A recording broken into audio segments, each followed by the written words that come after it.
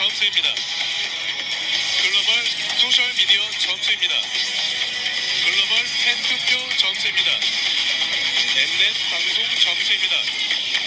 마지막으로 생방송 투표 점수를 합산한 영광의 1위